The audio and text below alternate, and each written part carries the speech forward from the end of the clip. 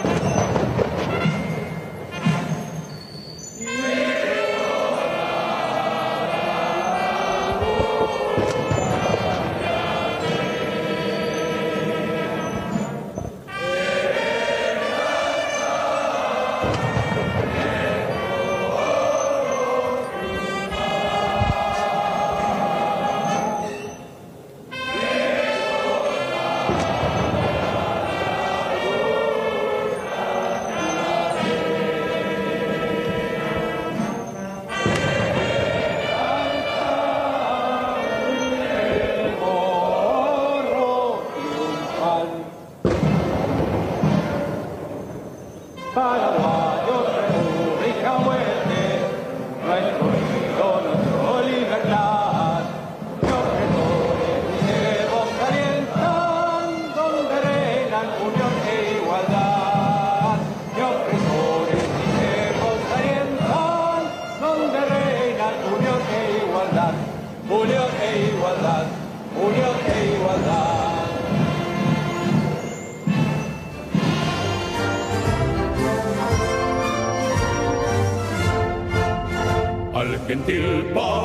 Bueno, la entonación del himno nacional y el izamiento del pabellón patrio que se estaba dando en el Palacio de Gobierno, ya con presencia del presidente de la República, Mario Abdo Benítez, y las demás autoridades de las diferentes carteras. Escuchamos algunos hace unos minutitos nada más y luego otras actividades también que se van a ir desarrollando, como veíamos también paralelamente los 20 21 cañonazos y ya posterior a eso van a pasar a la reinauguración del adoquinado ubicado frente ahí al Palacio de Gobierno y otra de las actividades previstas a partir de las 17 y 45 es la de el Tedeum en la Catedral Metropolitana, mientras veíamos la orquesta militar también que estaba encabezando el himno nacional.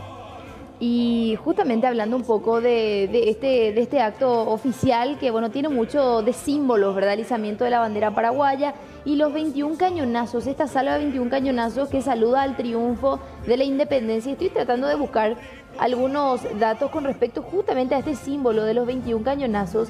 Si alguien quiere comunicarse al 098562500 o comentarnos algunos detalles, sería ideal. Lo que estoy encontrando, eh, digamos, inicialmente tiene que ver con que es un saludo ya histórico eh, que se... A ver, a ver, a ver, les voy a decir... Bueno, en aquel momento, según lo que estoy leyendo también, ya en, en aquel momento, cuando se daba la independencia, como celebración del triunfo de la causa, se dispararon 21 cañonazos. Pero otra vez, los 21 cañonazos tienen como origen, eh, ya, ya voy a encontrar bien de a qué se refiere, los 21 cañonazos que fueron eh, efectuados inicialmente en Alemania. En Alemania, en una ciudad en específico, teniendo en cuenta, ahí está la ciudad alemana de Augsburgo, Baviera.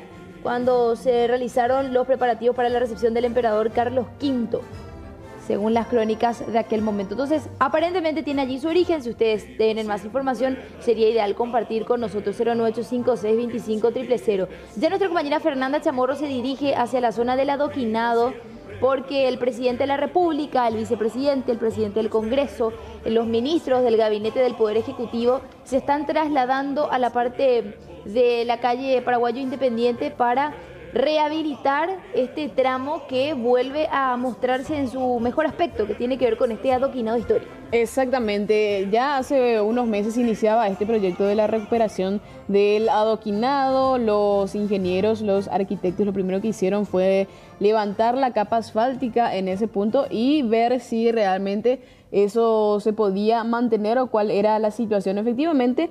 En una parte, al menos la que orilla la vereda del Palacio de Gobierno, es el adoquinado original. Sí. El que se mantiene ya desde hace varios años, décadas incluso.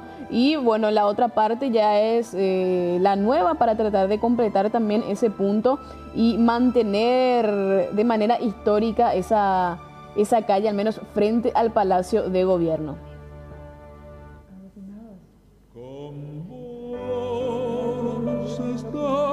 Como el eco de su sentir. Profundo canto de vida en cada emoción. Vibrante grito de lucha de hondos amores. El raza en cada canción.